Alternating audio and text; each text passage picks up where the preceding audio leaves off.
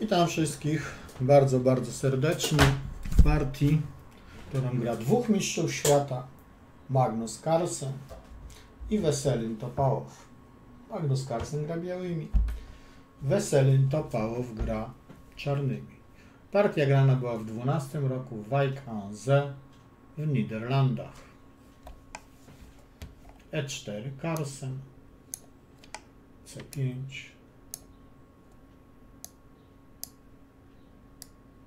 Proszę, proszę. To Pałow lubi grać sycylijską, gra bardzo ostro. Karsen, goniec, B5, szach.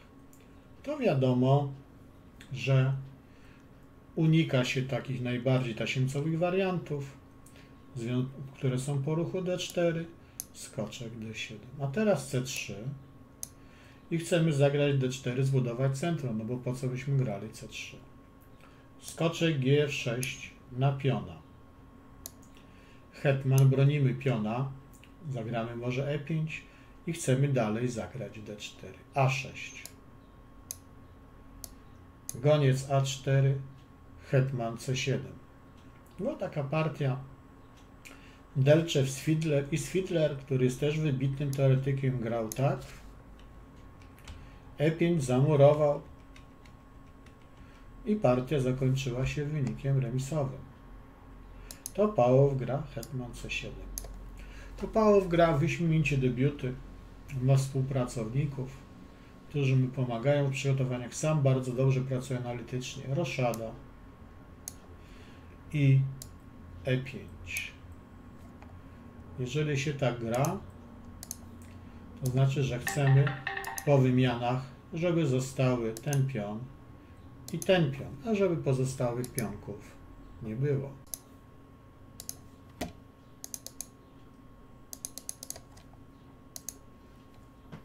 D4, B5 i gdyby nie hetman na E2 i skoczek na D7, to byłyby takie struktury jakby w partii hiszpańskiej. Bardzo zbliżone są.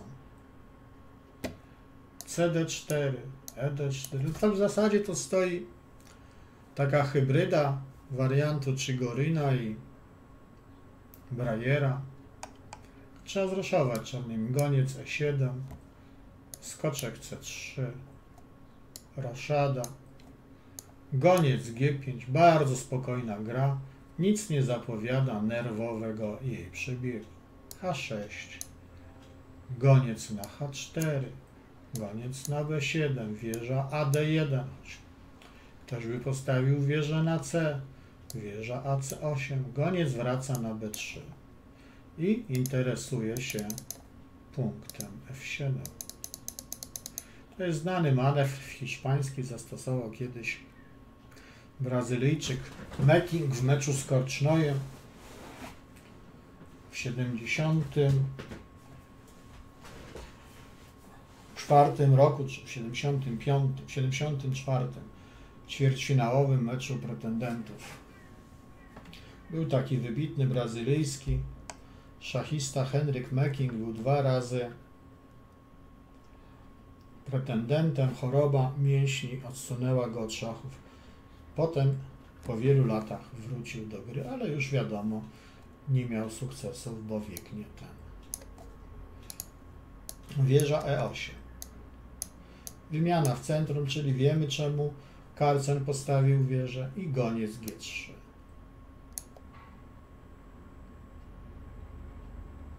Specjalnie nic się nie dzieje, Goniec F8. Pion obroniony z nadmiarem. H3. Ponieważ pion obroniony, skoczek zmierza na C4, takie sycylijskie pole. Teraz prawidłowe było albo wieża C1, albo goniec H4. Carlsen zagrał skoczek H4, co jest słabszą kontynuacją i czarne zaczynają przechwytywać inicjatywę. Można powiedzieć, że Weselin Topałow uzyskał co najmniej wyrównanie, czyli uzyskał doskonałą pozycję po debiucie. Teraz skoczek F3.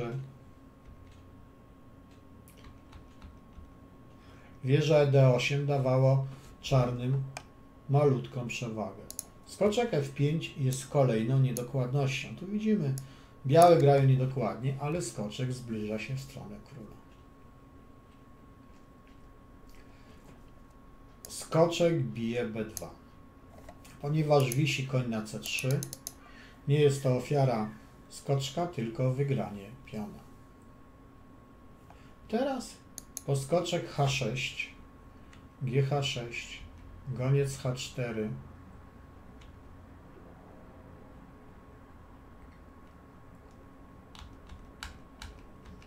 białe miałyby szansę się wybronić.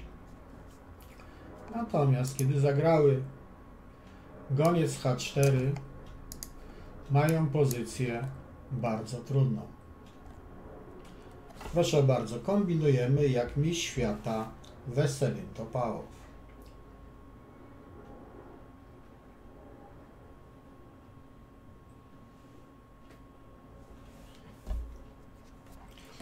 Myślę, że wszyscy wzięliby wieżę. Goniec bije w 6 i wszyscy wzięliby konika. Wisi hetman. Hetman G4 i tu widzimy, że kilka białych figur, dosłownie kilka, strzela na punkt G7, który broniony jest dwa razy i grozi mat. Grozi także skoczek H6. Tu żeśmy sobie pokreślili szachownicę. I znowu kombinujemy jak to Pałow.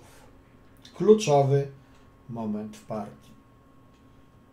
Drugi kluczowy moment partii. Pierwszy był to jak skoczek poszedł na bandę.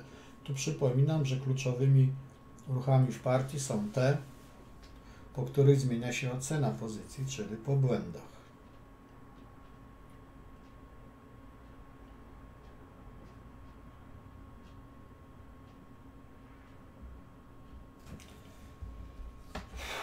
Był bardzo trudny do znalezienia ruch wieża E6, który co ciekawe to Pałow pokazał zaraz po partii.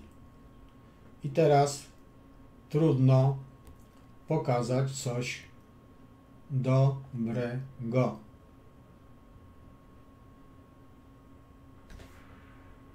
Pogoniec E6.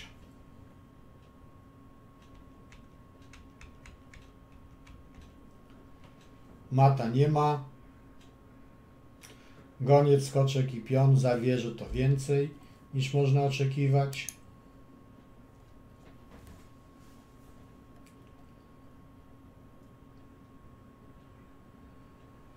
Teraz jeśli goniec E6, to Fe6, król do rogu, tu mata nie widać, trzeba punkt H6 obronić. I po B4 czarne mają dwie figury za wieżę. Wchodziło jeszcze goniec G7, król H7, nie bierzemy. Wieża G6, wykrzyknik i na punkcie G2 mata nie ma, punkt G7 obroniony, punkt H6 obroniony, a groźba na G2 i materiał, pada goniec. Nie pomagało też skoczek G7. Król do narożnika, znowu hetman padł z wygraną pozycją czarnych. A jeżeli skoczek F6, na H7 nie ma mata, wieczniaka nie ma. I ostatnia możliwość, skoczek H6, król H7, hetman podchodzi do obrony. Tu jest straszne uderzenie na E6, ale hetman bije na F6. Z wygraną. I czarne wygrywają, bo tu chyba wezmą jeszcze jakąś wieżyczkę czy jako steczkę i z figurą więcej powinny wygrać.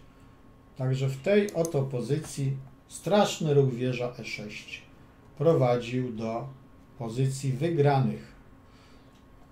Goniec bije E4, jest słabszy. Goniec E4 nie przegrywa.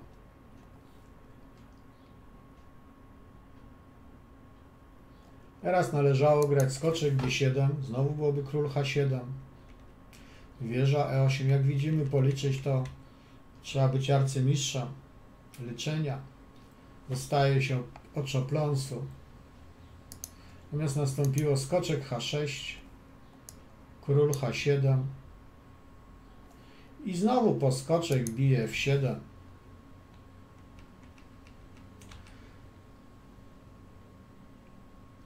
Białe przegrywały, ale do wygranej nie taka krótka droga. Tymczasem Carlsen zagrał goniec bije F7 i ten ruch okazał się zwycięski. Zwycięski. A gdyby czarne zagrały goniec D3, to by wygrały. Z wieżą więcej, czy tam z czymś tam więcej się wygrywa. Mata nie ma. Punkt G7 wystarczająco broniony. Ale o zaofiar- to Pałow zaoferował Hetmana. Hetman jest za wieżę i dwa gońce. To jest bardzo dobra rekompensata. Wszystko było dobrze, gdyby nie to, że białe mają doskonałe posunięcie F4, które wprowadza do ataku wieżę. Czarne konsolidują.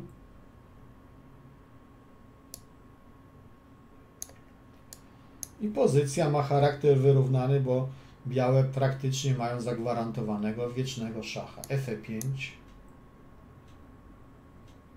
Teraz należało grać goniec C5 szach. Dopiero teraz skoczek D5. Jak widzimy, pozycyjne remi. Natomiast poskoczek E4, który nastąpił w partii, kombinujemy jak Magnus Carlsen.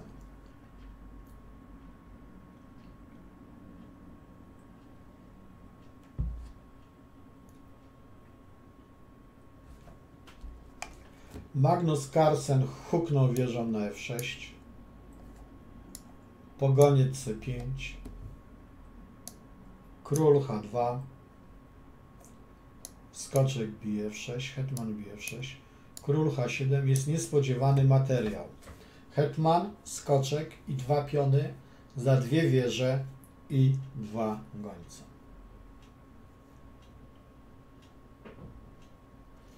Coś nieprawdopodobnego.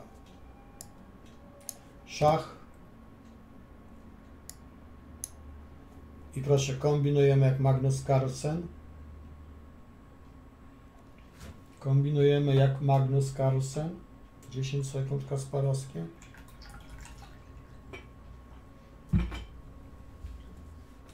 Skoczek E6. Zapleciona siatka matowa. Tu i tu. Wieża bije. Wieża E8. Hetman F6. Pozycja jest taka, że czarne nie powinny jej przegrać. Są niebezpieczne piony złączone, ale jest hetman i dwa piony za wieżę i dwa gońce. To powinna być przewaga czarnych. Tylko nagość czarnego króla powoduje, że nie mogą one wygrać. Sam hetman nie daje mata. Należało grać A5. Zachować tego piona. Po profilaktycznym gonie C7 pion jest przesunięty. Białe łyknęły piona. Hetman C4. Po król G7. Dalej byłoby równo. Goniec F8. Tutaj trzeba powiedzieć, że częściowo korzystam z komentarzy, które zawodnicy podali zaraz po partii. Należało dać szacha. I tu białe mają przewagę. Po ruchu w tekście pozycja znowu jest wyrównana. Król H7. E6. Doskonałe posunięcie, które ogranicza gońca i jednocześnie nie pozwala temu drugiemu napaść. Król G2. Goniec E7. Jak widzimy, jakby to pokazać. Goniec broni wieży, wieża broni gońca, goniec broni piona i nic złego czarnym zdarzyć się nie może. Hetman C7, król G8, król G3,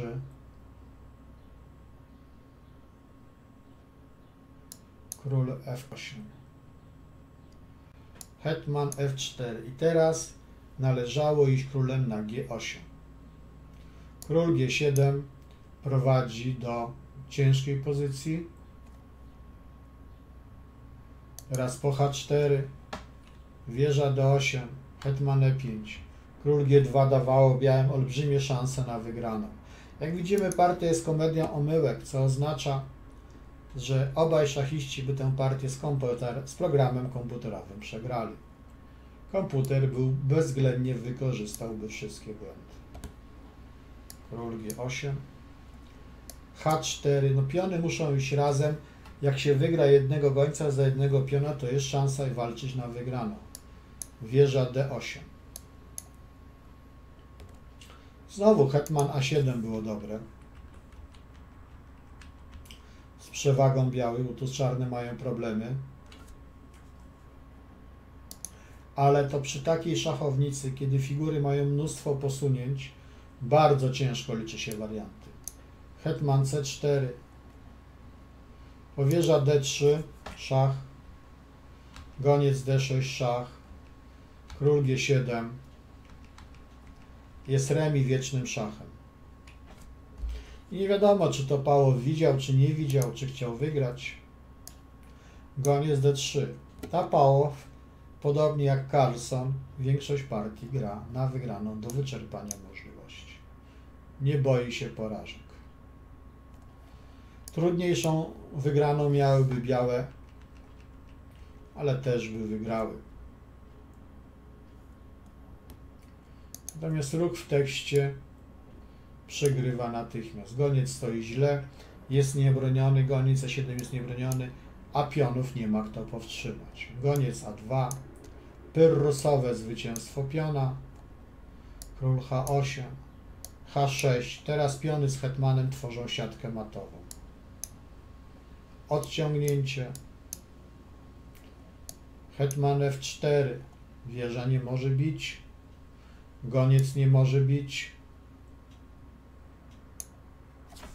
Goniec G7.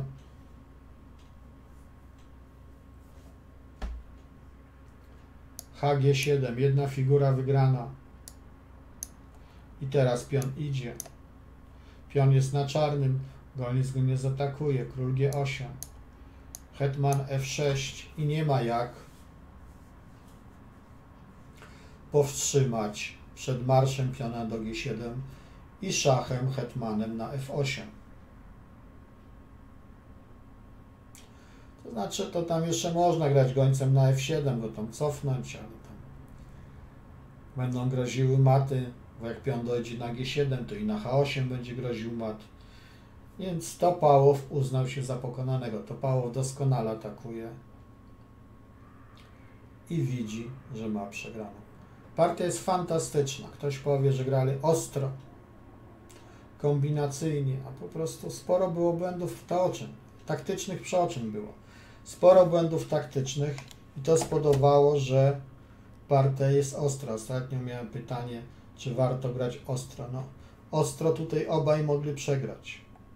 Obaj mogli wy wygrać. W końcu wygrał Carlsen, bo Topałow pomylił się ostatni. Czasami tak jest, że wygrywa ten, kto co się nie pomylił ostatnio. Dziękuję za uwagę.